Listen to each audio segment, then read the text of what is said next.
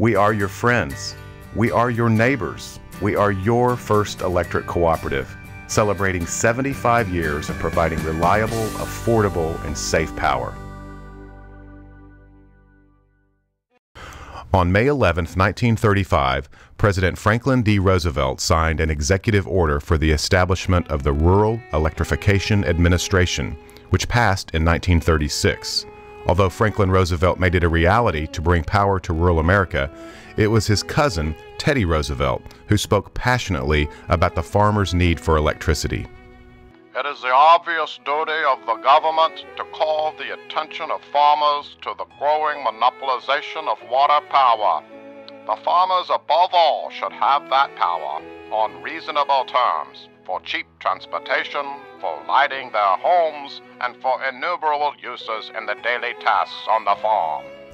This quote inspired the movement that brought lights and power into your homes today. Rural electrification was not an easy task, especially in the late 1930s when America was struggling. Times were hard back in the 30s. They were really hard. My dad was a sharecropper, but unlike Loretta Lynn, I was proud to be a sharecropper's daughter. Five men banded together to help make the dream of electric service come true for thousands in rural Arkansas. On October 20th, 1937, the first pole was set at the Vestal Nursery Farm near Jacksonville, the city where the cooperative would be headquartered in 1938. About 300 people watched Governor Carl Bailey, a staunch cooperative supporter, turn the first shovel of dirt from that hole in which the first pole was to be set. Della Frazier was 15 years old in 1938 and living with her family in Furlow, Arkansas. She recalls the moment when the lights came on. Um, and I studied by kerosene lamp uh, all my school days, you know. And uh, when we got that electric light, one, one string hanging down in the middle of the room with one bulb on it that you had to turn that way, you know. Oh, it was so bright, it was so pretty. And I finished school, uh, you know, by electric lights. It was wonderful. The newly formed cooperative continued to grow. In August 1940, First Electric opened its first district office in Heber Springs for supervision and collection of bills for that section of line. B.J. Swaffer, a former director for First Electric from the Heber Springs district, served as chairman of the cooperative's board for 28 of his 42 years on the board. He remembers vividly how electricity changed his life at an early age. War efforts got uh, very uh, uh hot in 1941, they canceled all the construction with all co-ops because they, they was going to send all the material to the war effort. However, the the poles and the wires was laying there on the ground, but but the uh, Congress had stopped the construction of the co-op. So about two months later, my father and two of his neighbors come to the uh, district office and said, if we will install that, can we get it? Because they were, the material was there. And they said, sure. So it took them some days to dig those holes because they just dug them by hand. As the co op began work, they hired linemen who had little training and were forced to work in rugged terrain. Ernie Stark began his employment with First Electric in January of 1949 in the Heber Springs district as a contract employee. He was on the front lines of constructing what is now Cleburne, Independence, Stone, and White County service areas. It was not an easy job to build the lines, as Mr. Stark explains. We'd, we'd get us like a good hole started and get it about 18 inches deep, maybe. And then we'd take this old bar and we'd punch a hole in the middle of that, about two and a half foot deep, and we'd take a quarter of a stick of dynamite and we'd drop it down in there. And we used electric caps with a shooting cord we'd get at the end of that shooting cord and touch that flashlight battery and we'd shoot that dirt out of that hole and then we'd go clean it, we'd go clean it out. Anyhow, then we'd set the pole, you know, and we had four big old pike poles. They was about so big around, about 15 foot long. And we straightened the pole up with those pike poles and then we tamped it in. First Electric and other cooperatives made great strides by 1950 by extending their lines into rural parts of the state. The 1950 census indicated that more than 76% of Arkansas farmers had electric service. In contrast, fewer than 10% of farms in the country had electric service in the 1930s.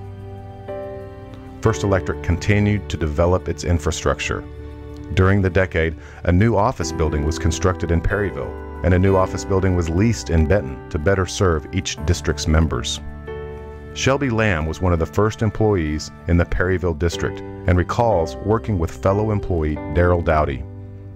The crews put in long hours building line and cutting right of way. Darrell and I were the construction crew. We dug the holes, set the poles, and built a uh, one or two span tap. Darrell was the only one that had a watch. We were cutting right away for a new line down there. About the middle of the evening, I, said, I, Darrell, what time is it? I'm getting tired. He looked at his watch, said, 3 o'clock. I kept on working. Started getting dark. I said, Darrell, I said, it's, it's, about time to quit. What time's your watch? Said he looked at it, three o'clock. we kept on working. It got dark on us. We got in a truck and they called us on the radio from the office. Where y'all at? Are you having trouble? I said, Yes, sir. We're having trouble with Darrell's watch. Purchasing power also remained a concern for the state's electric cooperatives. Harry L. Oswald, general manager of the statewide organization, discussed the necessity of continuing the effort to build a steam generating plant at First Electric's 1955 board meeting. By the next decade, the steam generating plan was becoming a reality. On June 30th, 1961, a groundbreaking ceremony was held for the construction of the Thomas B. Fitzhugh Steam Generating Plant at Ozark, the first cooperatively owned power generating facility in Arkansas. As the electric cooperatives in Arkansas increased their capacity to generate power, there became the need to encourage members to use electricity. Lois Ann Bryant served as a home economist from 1969 to 1974 and assisted members with the use of electric appliances. One of the most popular appliances was the microwave oven, but the public was skeptical of the new technology. It just had uh, sort of a dangerous connotation at that time, and so I think uh, safety was kind of something they were wondering about. And I think some people actually were afraid that the food might not be safe. Uh, um, but so we had to overcome all. First Electric's board of directors has been instrumental in facilitating the growth and direction of the cooperative from its inception. B.J. Swaffer saw firsthand the impact the cooperative has had on members and community. I think the the first board that uh, that was uh, uh, First Electric had, which was in 1937, they realized that you had to have good people. Uh, that was the pattern that was established then, and, and it continues today. So, so I think the, the people make the difference in the organization over any other any other thing. The fact that it's, uh, it's a service driven, not profit driven. In 1964, First Electric constructed its first substation. The Harmon substation in Perry County enabled the cooperative to provide high quality electric service to the members in the Perryville district. As First Electric's power load grew, First Electric shifted from encouraging members to use more electricity to asking them to become more energy efficient as the need began to exceed production. This growth also developed a need to serve members more efficiently, and so too became the need for improved technology. Rick Jones, who started with First Electric in 1978, recounts how they would respond to outages before dispatch was formed. When I came to work for Benton, the, uh, we didn't have dispatching. Uh, First Electric was in the phone book. And all of the linemen that were on call, their names was in the phone book. So when you was on call, when somebody had an outage, they had to call until they got who was on call. And if I was on call, it'd be me. But when I went out on an outage, if it's during the middle of the night, if there was another outage, my wife had to answer the phone. And it, it could go on all night long. She was, was the dispatcher. Uh, we didn't have the radios or anything like that, so if I was way out in the country and uh, took care of an outage, I had to find a phone at midnight or 2 in the morning to call her to find out if I had any more outages in that area so I wouldn't drive all the way back. the biggest improvement to me was when they started dispatching, where we had somebody to talk to. Working for a rural electric cooperative, employees expect the unexpected when out in the field. Uh, let's see, had a dog get in the truck that couldn't get out. That the air show scared. He got in there and he was scared he wouldn't get out. And had a goat, had a goat get in the truck. Because used to when you get out to read the meters, you'd leave your door open, run over and read it and jump back in the truck. You get back over there, there's a goat standing in your seat looking at you, and you had to try to get him out.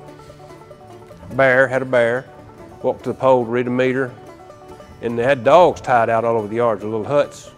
Well, I was watching them trying to walk between the chains. Guess what was tied to the pole when I got there? A bear. I was doing an energy audit for a, a, a woman one time. It's an older house. Uh, didn't know if there's any insulation in the wall or not. We was literally sitting in her bar in her kitchen. And I said, "Do you know if there's any insulation in this wall? And she literally, there's a hammer sitting there on the bar. She literally picked it up, knocked a hole in her sheetrock, looked and said, there's no insulation. Throughout the years, First Electric's board has worked diligently to provide its members with safe, reliable, and affordable power. Robert Hill, chairman of the board and board member since 1983, describes his motivation. Well, I want to represent the members as a whole, uh, the new members, the existing members. I want to be able to see to it that they got the uh, best electric service possible at the cheapest price possible. I, have always enjoyed being on the board, being able to, to see a project like that started and carried through. Uh, I've also wanted to see where the uh, electricity is going to come from in the future for the next 10 years or 15 years down the road. Uh, we have to plan that for the future, and that's part of the board's responsibilities is to uh, approve those items. In 1991, Riceland Electric Cooperative Corporation became part of First Electric. This merger would increase the membership by nearly 3,500 and Riceland's Stuttgart office became a district office of First Electric. Sherry Reed, former Riceland employee and retired First Electric employee, remembers how the merger affected not only the employees, but also the members as well. You know, we were small, you wore 15 hats, you did whatever needed doing, and then we went to First Electric and they had departments that did all of the jobs and things. So yes, there was, there was uh, work that I had done for years that I didn't have to do anymore. But you pick up other things to help the other districts out and stuff. So it was still a very, you know, a busy time and things, but it, it was different. Robin Harris, meter technician, describes how meter technology has changed over the years. You know, I remember the days of the old heavy glass meters, you know, with the dial that spun around. And you know, now we have all new digital meters. There is no dial, just the little flashing triangle. And have watched the members kind of, you know, get acquainted with those new meters and lots of changes, but I would say changes for the good. You know, a lot more safety conscious, air conditioners in the trucks. In 2004, two important milestones occurred. First, the cooperative moved its headquarters to South J.P. Wright Loop Road, and second, automated meter reading was introduced. This allowed meter reading to be sent via power line carrier communication to First Electric each night. Technology has changed, but one steadfast at First Electric has been the continued retirement of capital credits. This is an important distinction between not-for-profit electric providers and for-profit electric utilities. In December 2010, First Electric returned a record-setting $5.5 million in capital credits to its members. As of 2011, the amount returned to members totaled more than $52.7 million. David Lubke, board member since 2000, talks about the cooperative's philosophy of returning capital credit checks. Well, the members own it. They're, they're not, it's not a for-profit organization. It has to have money to run, but it's not, you know, an independent one. You know, stockholders get the money. This we return back to the to the members, which is special. And um, may not be but twenty-five dollars or hundred dollars or whatever, but every year, that time of year, we always get a lot of compliments. Thank you for sending sending money in the mail. You know, and nobody else does that. And But when you when you part owner of the company, you want it to do well. Don Crabb, president and CEO since 2005, explains the long-term goals for First Electric Cooperative. Well, I, I think again, the, the, main thing that we can do is to continue to improve the quality of life uh, for our membership, uh, and that's by virtue of distributing uh, electricity to them, regardless of how it's generated, regardless of how it's uh, distributed, that uh, will ultimately be the provider of that electric service. What does the next 75 years hold for First Electric Cooperative? I mean, obviously, the technology is going to continue to change. You know, when you look back in the way we distribute electricity today versus, you know, where we started, it's, it's basically the same.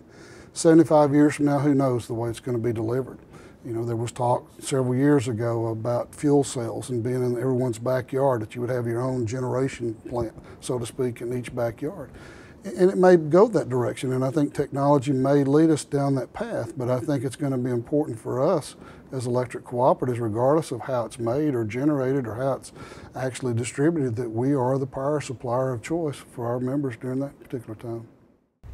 In 75 years, First Electric has transformed from a small rural electric cooperative to the 31st largest cooperative in the United States, all by adapting and changing with the times. There is one thing, though, that has remained the same at First Electric Cooperative. Because I think it's very important for us to realize, even though all these other things have changed, there's, there's one thing that has remained the same. We're owned by those we serve. And so obviously that's the one thing that's the same today as it was 75 years ago. And again, that's what makes us be service driven versus profit driven. Because again, you know, anything that we make above expenses, we assign back to our members and it's their money when they gave it to us to begin with. It's their money after any margins are left over. But again, what we do with it in between time is what's important from our standpoint, and how we deal with that from day to day. Today, 88,000 member accounts strong, serving parts of 17 counties in Arkansas. We are your friends. We are your neighbors. We are your first electric cooperative, dedicated to providing reliable, affordable, and safe power for the next 75 years and beyond.